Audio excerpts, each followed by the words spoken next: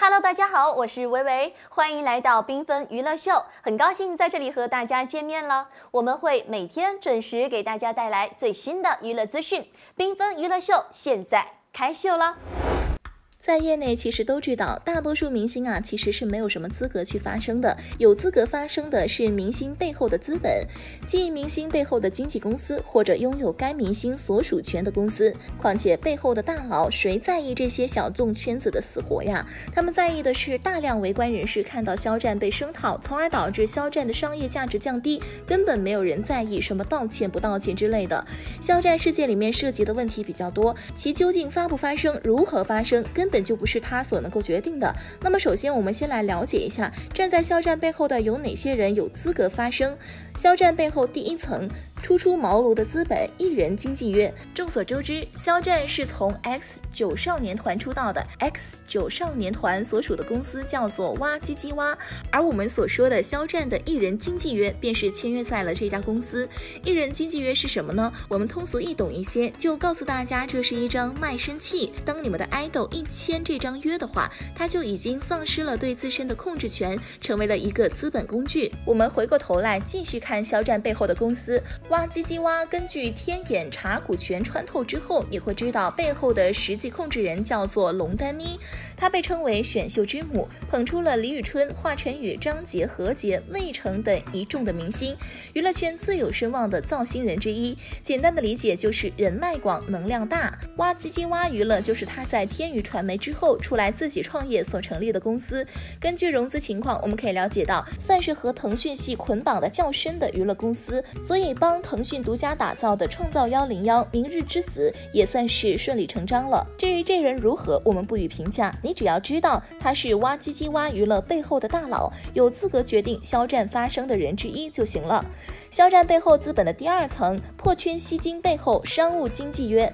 肖战自从一九年靠着《陈情令》走红，然然后又接着就冲《诛仙》真正走上一线流量的咖位之后，也算是熬出头了。那么在熬出头之后啊，背后的公司第一件事情想的就是如何通过肖战这个工具赶紧捞金，于是就开始有了商务经纪约。商务经纪约指的就是哇唧唧哇将肖战这个产品的商务代理权交给了某家公司，由。这一家公司在市场上帮忙进行代言、商务活动的安排，大家理解成就是帮忙拉皮条赚钱就行。而肖战的商务约就在合颂传媒的手下。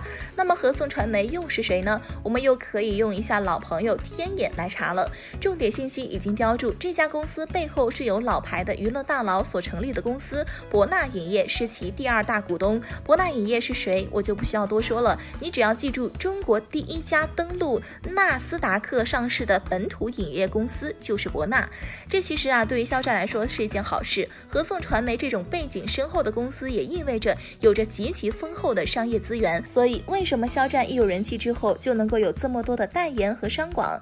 但是，同样的，肖战出事之后啊，没有人敢得罪这位大佬。同样，合颂传媒也可以决定他的话语权。肖战背后资本第三层影视流量的深度捆绑，肖战的影视约可以说是肖战现在最重要的签约了。没有之一，毕竟这是肖战获得人气的基础与在演艺圈立足的根本。而肖战的影视约的背后，就算是真正的大佬了。首先，我们点开肖战的参与的各种作品，大家可以看得到，出现比较多的便是新力传媒和腾讯系的公司了。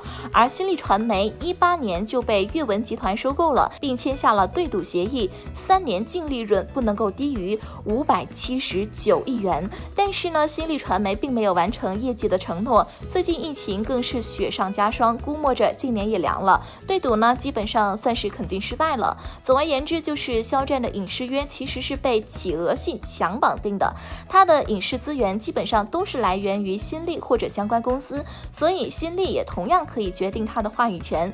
除了上面的三家以外，肖战还有其他杂七杂八的合约，但是因为权限不够或者影响有限，并没有什么办法去决定他能否说话。但是我们能够明显的看出，肖战只是一个资本流量明星生产线之下的资本工具人而已，还远远不足以成为资本的本身。成为资本本身的标志，可以看合颂传媒是由哪些人成立的。理清了这些之后啊，我们来看为什么肖战一直没法发生。首先看经纪约的部分，首先这件事情虽然对肖战产生了许多的负面影响，但是其本身并不是肖战本身的原因，甚至于肖战某种程度上也是受害方，所以在他们的合同上既不属于不可抗力，又不属于主观违约。再看商务约的部分，事情严重之后，很多品牌因为受到抵制，所以肯定会暂停合作。李佳琦之前在直播的时候也临时撤下了肖战代言的欧类产品，而后面的很多品牌方啊，肯定会把肖战列为风险艺人，而不会选择与其合作。毕竟对于品牌方来说，不出错是最重要的。同样，对于很多已经签约的品牌方，当然是一定会进行索赔的。毕竟品牌方的损失是看得见的。从这来看，商务约是肯定有损失的。